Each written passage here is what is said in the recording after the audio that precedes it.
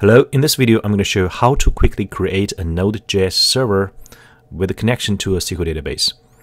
Uh, I'm going to leverage two CLI tools. One is called Express Generator and the other is called Sequelize CLI. So these two tools make my life a lot easier because they scaffolding code files very very quickly, saving a lot of boilerplate code.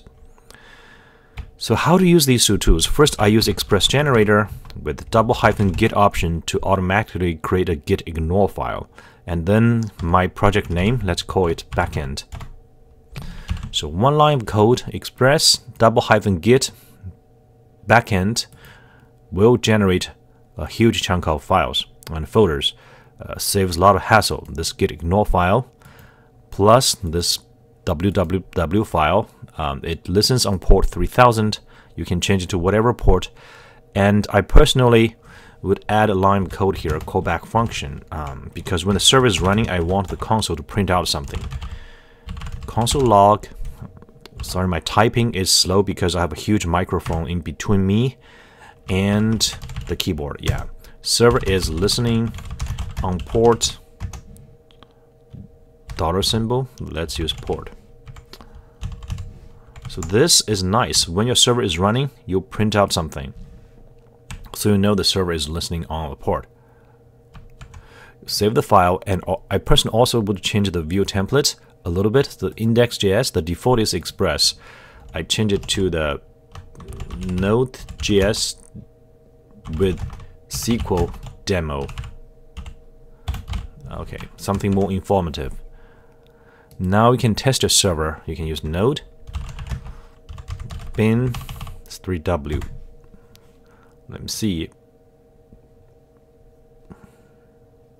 Oh, I didn't install any Node.js packages. Yeah, so npm install first. Express generator only create the skeleton. It does not flesh out the packages. Six packages are installed. These six guys. And you can also install additional packages. npm install, pg, pg-hstore, and this is PG and pg-hstore is for connecting to your Postgres SQL database. If it's Microsoft SQL, it's called tedious, a different engine. Yeah. You also want to install dotenv to protect your passwords. And you also want to install Sequelize. Obviously, this is the library for writing SQL code in JavaScript. Okay, after installing these packages, you should be able to run the server. Server is listening on port 3000 if you launch your browser and navigate to your localhost port 3000, you should be able to see the server right away. Localhost 3000. Okay, it's on another window, um, on another screen. Yeah, Node.js with the SQL demo. Welcome to Node.js with the SQL demo. So it is quite informative, and you, of course, can write whatever stuff you whatever stuff you want. Um, you do not have to use this. Uh, you can go to the template engine uh, here, index.jade, add whatever text, um, documentation, whatever, to explain to people what the backend is about. Now here, the server is running without any issues. Now let's connect to a SQL database. So you again leverage this Sequelize CLI tool, CLI, and uh, you use this single function called init. So a huge chunk of folders and files are created for you. And one thing you need to tweak is the config. So let's create this touch um, touch.env, create this .env file. This is for protecting your password. Okay, so config JSON. Uh, let's create some password first. Let's call it uh, password equals one two three four five six. That's my password for my database. Very easy. Then in this config JSON, you need to change the file name to JavaScript because you want to import some password, right? So here, require, and call this guy dot inv config. Then you can module export username test password you can use process.env.password, whatever you just created. Good, there's auto correction. So for the database, my database name is also test, yeah. username database the same. And dialect, I didn't use MySQL, it's Postgres. And you may write MS SQL, Microsoft SQL, whatever SQL database you're using. And I also disable logging because uh, it produces a huge chunk of stuff to your console. Apologize, my typing is quite slow because I have a huge microphone between me and the keyboard, so my arms kind of stretched a little bit. Okay, so this is how you set up a connection. And for the development environment, of course, you can set up for the test and production environment. And if you go to this models index file, you need to make a little bit of change here.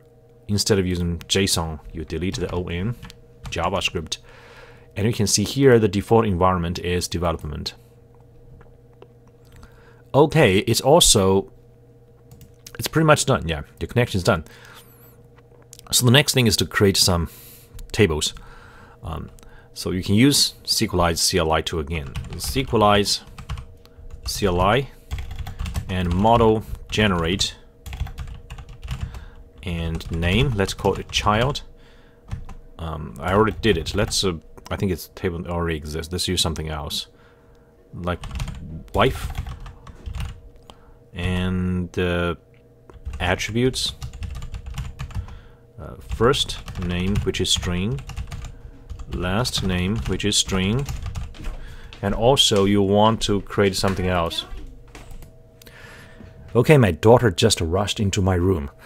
Um, okay, so here you create last name dot string and you can create a date of birth which is a date.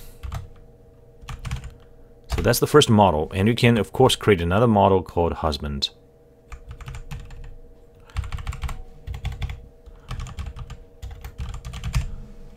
And it won't surprise you that the Sequelize CLI created two files for you here under this migration folder, two files under this models folder. So you can read the code in the index.js. That's the core part of the operations. This guy created the Sequelize connection pool to connect to a database.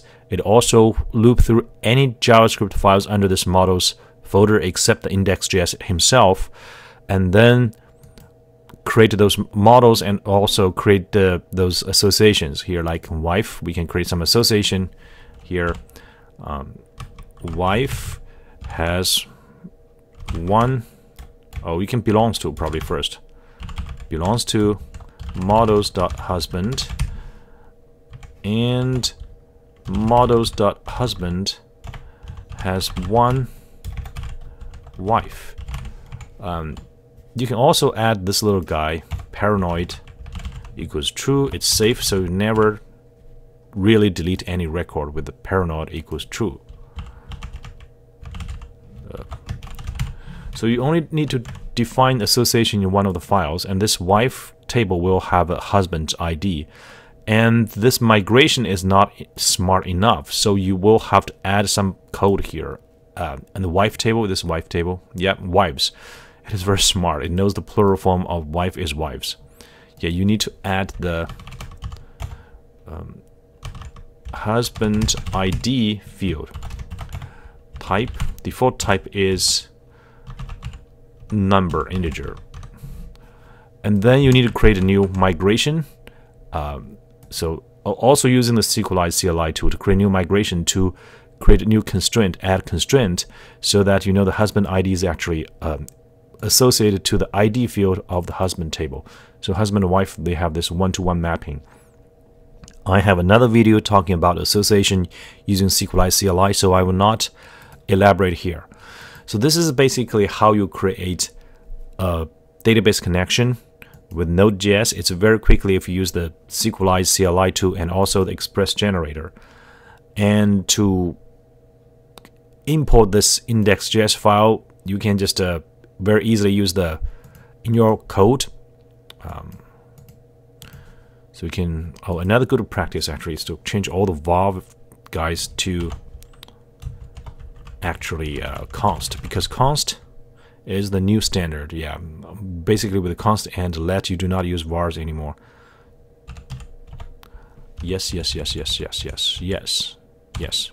Okay, and to import that, you can just const uh, you can import whatever models from that file equals require um, models. That's all you need to do because the models folder, the index.js is the default JavaScript file. So this code will look under the models and go straight to the index.js file. Um, you can import any models or sequelize or whatever uh, from that file, like husband or wife or whatever, yeah, from that file, and you can use them right away.